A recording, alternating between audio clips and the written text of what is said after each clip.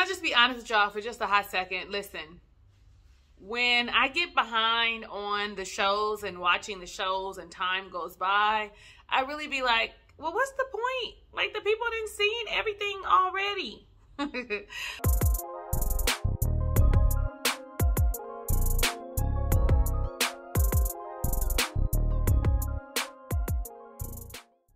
What's up? How you doing? Ray of Sunshines. I am your girl Talisa Rae, lifestyle coach. We are reviewing Ready to Love, uh, DC, DMV, season five, reunion part two. I might come back with my one opinion because it was a little more spicy than two. Nonetheless, we pick up where we left off uh, from episode. I mean, from part one, where Tasia is storming off, talking about how this is just ghetto. Honey, they got grievances that they need to air out. And whenever you got grievances and hotheads and bullies and mean girls and the brown skin girls and the I don't like you girls and the, you know, listen, it becomes kind of ghetto. That's what I've I've determined. Um, when we as women don't like somebody, we really be like,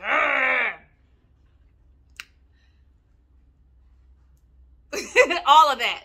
Anyway, so you know, uh, Tanika Ray, whom I've done, um, she hosted a show that a makeover show that me and my mother was on called Head to Toe. Um, you know, I you know, listen, I'm gonna do part one so y'all can hear all about how I feel. But Tanika Ray is all like, yes, let's move on, blah blah blah. And Zadia is all like, I'd like to bring attention that we did make a connection. I was like, did you now? We did make a connection, and that's why I chose him. Ma'am, you didn't choose him. Ma'am, you did not choose him.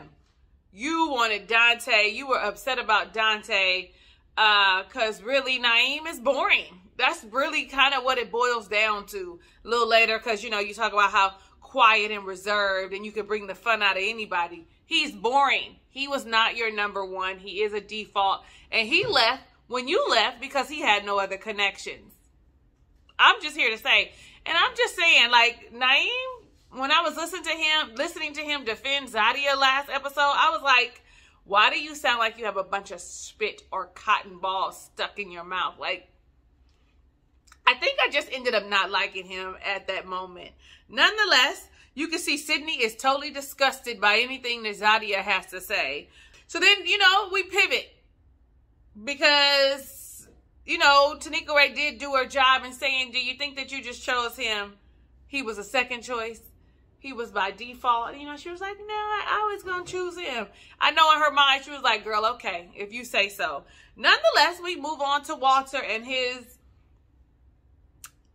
I don't know, indifference towards Mumin and Sabrina. And it comes up, you know, about Sabrina sharing with him, I don't choose you. I don't choose you. I don't want you. Keep on walking. You are not for me. I have felt like second choice the entire time. That comes up. And he's all like, I thought we were cool. I thought we would have a connection, um, whether it be uh, intimate or just as a friendship. And for that, I felt like a courtesy should have been had. And y'all thought that she needed to give him a courtesy. But we was like, no. Like, he did seem like he was unsure based on what Sabrina was saying. He wasn't keeping up. He wasn't calling. He wasn't doing the things that he said that he would, that when we feel like someone is interested in us. Like, I ain't gonna keep reaching out if you ain't reciprocating. Today's word is reciprocation. I think that was last week's word too. Not last week because I wasn't here, but the week before that. When they asked Mumin, you know, well, since she was feeling like number two, how was you feeling? Like number one? And she was like, uh, no it was evident that Sabrina had always been his number one. I don't know where this is coming from, but again, it was. I think that she meant when in number two, like number two to everything else. Number two, like you're not really interested in me, that you're not really pursuing me. Sabrina also says, you know what? I'm too old for him. I'm too old for him. He likes the young girls. And so Walter was like, hold up, I might like young girls because I want to have children. And that might be why it seems that I pursue younger women. But you had changed your mind and said, you know, when we started connecting, that you might want to have a baby, that you might you know, it might be lit. Now I remember on our live we asked Sabrina about that, and she was like, "I don't want no more children. I'm too old for children, or whatever it was." We can go back and look look at the comments on that uh, live I had done, but I thought it was clear that she didn't want any children because Phil had liked her, but she didn't want any children. Like she could have had other connections, but she didn't want to have any more children. Set your boundaries and stick to them. Ain't no flip flopping. I don't want no kids, Walter. We not a fit. Okay, I could get the little coinage. We could talk, but no. Let him find somebody to have a baby with, cause girl, we know the factory is closed. It's a no. Oh, I wrote down. I didn't like what Walter had on. Um, he looked better throughout the season. Like his attire was a lot better. He looked just a little disheveled to me. I didn't like whoever cut his beard this time. It made it too like um, perpendicular. Is that right? Mm, that might not be right. Too horizontal. Too like it wasn't enough curve to it. You know what I'm saying? It's too straight. Mm-hmm. And since I'm here, and I'm gonna come back and probably say something again in episode uh, when I do part one in a few seconds. Um, you know, I'm doing it backwards. But when I come back and do part one, I'm to say that I liked that uh, Sabrina kept it simple. Where the neck piece was the star, where her face was the star. Like it wasn't too much with her dress. I like the color, but I wish it wasn't sparkly. But she's the fashion designer, not me. So then, you know, Tanika says, let's talk about Courtney and Corey. And, you know, Courtney is free and fancy. Fancy and free, honey. Want to have a good time, flirty, fun. But I also want a relationship. But I want my relationship to be flirty and fun. Big, big Leo energy. Very much so. I did not like her hair um, straightened, but it's not my hair. I did, I like her better with her mane, her frock, like huge. Maybe she was feeling away when she saw it on TV. I don't know, but I liked it. It gave her more personality. It helped uh, balance out her wide shoulders because you know she's got a very uh, slim frame and so she has a sh wide shoulders top heavy not heavy at the bottom if you notice if you're top heavy sometimes the, even your shoulders are a little you know are, are kind of broad so i feel like her big hair complements her very well um beautiful girl but i think i, I but who am I? Like, it's not my hair. Like, you know, uh, and she's not her hair. She can wear whatever the hell she want. Talisa, mind y'all business. Uh, but y'all wanted to hear that because y'all know y'all liked her big hair better than that Brazilian uh, blowout or silk press or blow dry and press that actually looked greasy and heavy. But I do like Courtney. Okay. Um, I did not like Courtney's dress it felt real 20 uh uh forever 21ish to me um i don't know i don't know anyway they um started talking about cornelius you know and how that relationship and i i felt like looking at him watching you know he enjoyed though he might have wanted to wait or wants to wait till marriage he enjoyed the attention that he was getting from Courtney. It's a different kind of energy um, than it is from Camille. Not only that, I feel like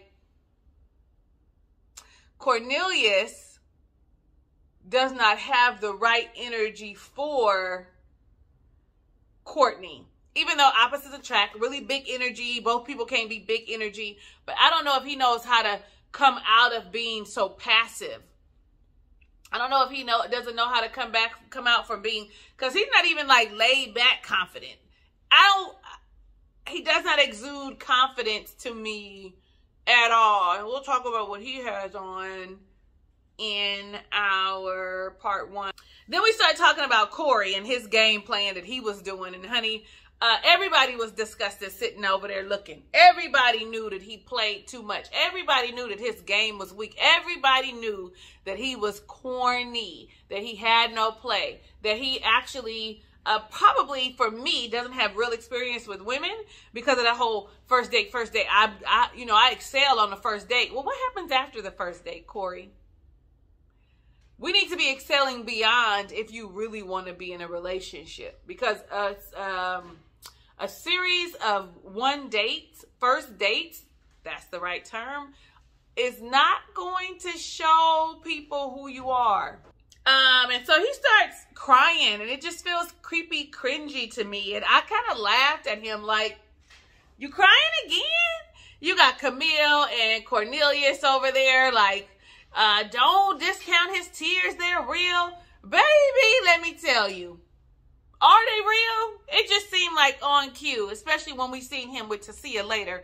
He goes back into the same antics that are here, that he's, that he, um, that he's, you know, exhibited throughout the season. Right here, it's almost like duplicitous behavior because of the simple fact in one moment, I want a relationship. I want to be, I, you know, I just don't know. I don't know why I'm like this. And in the next breath, you know, you know, this is what I do. like, I, you know, I don't know. I don't know. He kind of uh, apologizes for it. Sabrina shares that they talk all the time. And the thing about um, Corey is that he's misunderstood, that he doesn't think the way that other people do. I can see that he could be socially inept. I can see where he may not have the skills to deal with people in this manner. I can see where he thinks that being a ladies' man is the way to go. I can see that maybe this is something that a persona that he chose somewhere along into high school in college and thought it worked well for him. I can see that this is what he uses in his personal training to boost the women up, make them feel better about themselves. I can see all of that. Um, and then you know, he kind of apologized. Did I say that? He did. He kind of apologized a little bit, but okay. So then we see Tasia. Okay, we mail right on into Cecilia and we get to see Corey, unseen footage of Corey and Tasia's date. And this is the date, I believe, when they walk up, he was getting ready to be eliminated. Remember, he almost got eliminated twice before he got eliminated, I think it was, whatever it was. This was the time, and she was actually talking to him and you know had his hands too low and you know you know listen real creepy cringy um but come to find out longer story short oh am i getting let's do it longer story short she was also part of his like harem of women that he was courting and saying the same lines to now baby let me tell you something when i'm dating Oh my God. Let me tell you the story. So, uh, my husband and I had, I don't know if we had been married or we had just been living together for a while. And a friend of his had told him that I dated a guy that he knew and that I was all into him and in love with him and couldn't get enough of him. Can't get enough. Can't get enough. No, that wasn't the truth. Okay. But my husband took my then old BlackBerry, right? Because we had moved from BlackBerry to Samsung. I used to love my Black BlackBerry. But he took my BlackBerry, um, charged it, and went and looked through my messages. And was like, oh, so while we were just dating, you was telling everybody good morning, handsome, sending everybody the same photo, and was excuse me, it's that same, how you doing, beautiful? How you doing? It's the same concept, child. It's the same, I, and was, and we'll do it again. Like, why are you going through my phone? See, the difference though is that Corey was doing this in the in a group of women that uh, are to are that know each other are, are, actually socializing together because don't think that that's not what's happening. You know how they be saying you sending 15 good morning beautiful texts to everybody? That's what that is. That's what that is. I'm not going to take five different photos. Uh, you know what I'm saying now? I, I might have switched it up and been like, good morning, handsome.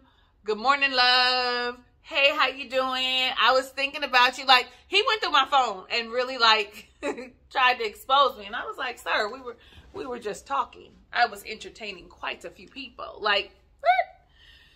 So I get what Corey does, but you can't be telling them all that I'm gonna date, you know, I'm you're gonna meet my parents, like selling false dreams. All I was doing was saying, Good morning, how you doing? How'd you sleep? I hope you slept well. Here's a photo of me. Hope you dreamt about me. Like I wasn't promising future anyway, but I understand the concept. He just did it in a circle of women that all know each other. Very cringy. Don't be telling everybody we all going out on Thursday or Friday or Saturday, and don't be talking about well, you gonna all meet my parents. I'm dating several people. The end. Anyway, I did like when she talked about they talked about Phil, because her and Phil had a connection for a moment. And I like that she said, um, you got to let people do what they want, what comes naturally to them. And it, I wasn't what his preference. I wasn't his preference. So there it was. I totally, I totally agree with that. I'm going to let you do what comes naturally when it comes to you and I. And if I'm something, or if I'm, if I'm someone that you are interested in, then guess what? You're going to show that. It's going to be reciprocated. You know, you know, it's not going to be a guessing game. And I wrote down, I do believe that men, um, even though there are a lot of people that don't believe in gender roles anymore and, you know, all these other things, I do believe that it is natural. If a man is into you, he is going to come for you. He is going to seek you out. He is going to want to hang out with you. He is going to want to be in your space, in your energy. He is going to want to get to know you. Um, and it doesn't matter if he's an introvert, an extrovert, shy, hardly talk to people. He's going to figure out in his own way that I like you and I want you to know that. When it comes to Cecilia's dress, I didn't like it. When she got up and she pranced, because, you know, baby, I am the one. I loved it. I felt all of that. Yes, show them everything that they missed. Okay. I liked the concept of her dress, but didn't really necessarily liked her dress. And I hated her hair. I hated her hair. I wanted her hair to be like, you know, like it was during the season. Beautiful woman, but I think that um the hair, if the hair was better, maybe I would have liked the dress better, but I doubt it. I did not like the squirt slanted thing. I, I didn't like the slant, squirt, slant. I, I didn't like it. If y'all did, that's cool. Y'all can tell me that down below in the comments. Cause, and then tell me what it is you liked about it. Did you like that it was sequins? Did you like that? Like it, Uh, it just, I don't know. It wasn't flattering to her beautiful figure. Ooh, child. So let's get back to Zadia because we're gonna. I, got to do. I got to give y'all my opinions on on uh, part one. I got to. Ain't no way around it. So then we get to Zadia, and we are reviewing Zadia's time on the show, and they pay they pan over to Aisha, and she looks like she is fuming, upset, like really upset about what is about is being shown on the television. Uh, I mean, on the prompter or whatever they're looking at to see the show. Um, and they show, of course, the whole tapping of the nose. But wait a minute. Tanika hits her with, you said that uh, Naeem was not a consolation prize. But here you tell Dante, and I was about to choose you. So the math ain't mathin', Zadia. The math ain't mathin'. Which one was it? You was going to choose Naeem anyway? Or was it that you was about to choose Dante? Or, like we know it to be true, you only wanted Dante because Dante showed interest in Aisha, your arch nemesis. You wanted to make sure that she knew that you was the HBIC, but in actuality, you weren't. You actually just showed that you were a BITCH. That's all. Uh, they said that they, you know, talked about it. They squashed it. That she apologized and she knows that she was wrong about putting her hands on him. That that was something that she should not have done. And that she knows that when she walked out, that she should have just walked out instead of double backing. What is the dogs barking for? So then we scroll over here to uh, Dante and Naisha.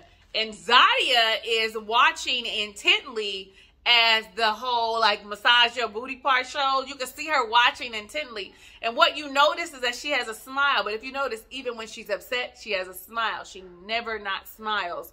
So you see Naeem look at her to see if she was bothered because Naeem knows that he was number two. Naeem knows, okay? And Naeem is fine with settling for being number two, okay? Listen.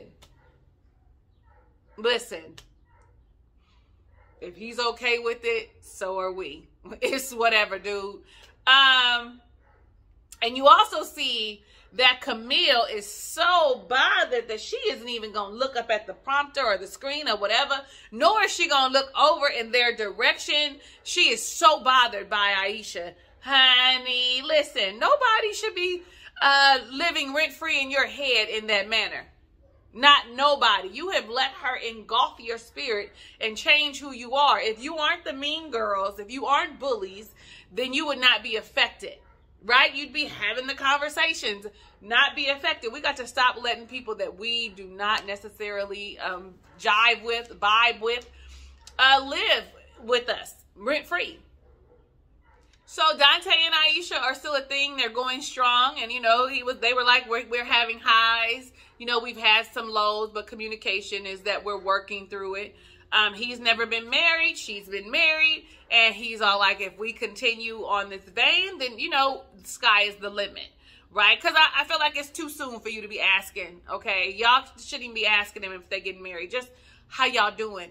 is y'all still together? And you can see that they genuinely are still together. His hand has not left that that hip side booty, the rub on that fashion over looking dress that she has on. I absolutely hated her hair. I wish she would have went back to the dark.